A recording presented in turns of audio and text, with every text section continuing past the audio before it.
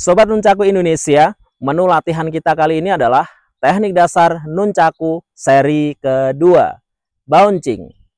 Latihan ini bisa berfungsi sebagai body conditioning agar tubuh kita terbiasa menghadapi benturan. Karena saat belajar nuncaku, tubuh kita akan akrab dengan benturan.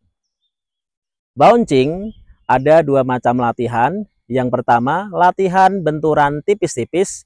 Dan yang kedua, latihan benturan tiga titik. Oke, kita awali dengan latihan yang pertama, yaitu latihan benturan tipis-tipis. Posisikan pegangan nuncaku seperti ini. Kemudian, nuncaku ini akan kita benturkan ke beberapa bagian tubuh kita. Oke, posisikan pegangan nuncaku, kemudian kita posisikan tangan kiri kita seperti ini. Kemudian benturkan. Kemudian balik, Nah, berikutnya benturkan ke area ketiak seperti ini. Lanjut ke area pinggang seperti ini.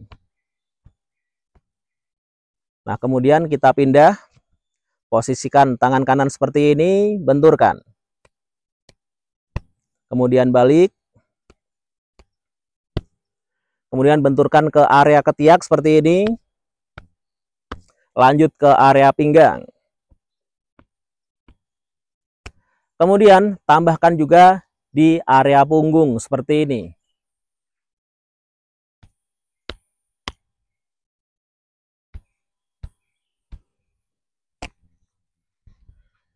Kemudian setelah selesai, kita lanjut ke latihan yang kedua, yaitu latihan benturan tiga titik. Tiga titik ini adalah yang pertama benturan vertikal seperti ini,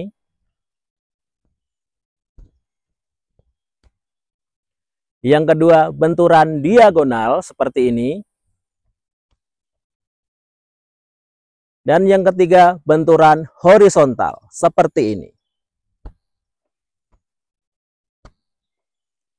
Oke, kita awali bentuk yang pertama yaitu benturan vertikal. Sebelum itu, jangan lupa selalu posisikan pegangan nuncaku di dekat konektor agar nuncaku lebih mudah dikendalikan sehingga lebih aman. Oke, posisikan pegangan nuncaku, kemudian kita posisikan kuda-kuda seperti ini. Nah, kemudian kita akan benturkan seperti ini. Benturannya kembali lagi ke atas. Kemudian perlu diingat, area benturannya harus ada di area ketiak jangan sampai melebar ke lengan. Karena kalau melebar ke lengan, akan ada resiko siku tangan terkena benturan nuncaku. Oke.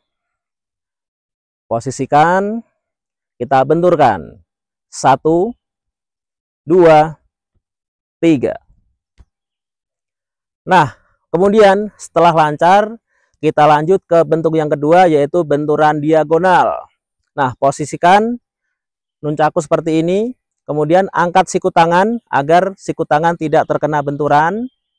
Angkat siku tangan, kemudian area benturannya bisa di ketiak atau di pinggang. Oke, posisikan kita mulai. Satu, dua, tiga. Nah, kemudian setelah lancar kita lanjut bentuk yang berikutnya, yaitu benturan horizontal. Posisikan pegangan nuncaku seperti ini, kemudian kita tempatkan nuncaku di pinggang sebelah kiri. Nah, area benturannya ada di pinggang sebelah kanan, seperti ini. Oke, kita mulai. Satu, dua, tiga. Nah, setelah lebih lancar, kemudian latih juga di tangan kiri agar refleks tangan kanan dan refleks tangan kiri kita lebih seimbang. Oke, posisikan pegangan nuncaku di tangan kiri. Oke, posisikan kuda-kuda. Oke, kita mulai. Satu, dua, tiga. Oke, satu, dua, tiga. Oke, satu, dua, tiga. Tiga. Setelah lebih lancar, kecepatannya bisa kita tambah menjadi seperti ini. Oke, persiapkan. Satu, dua, tiga. Oke, satu, dua, tiga.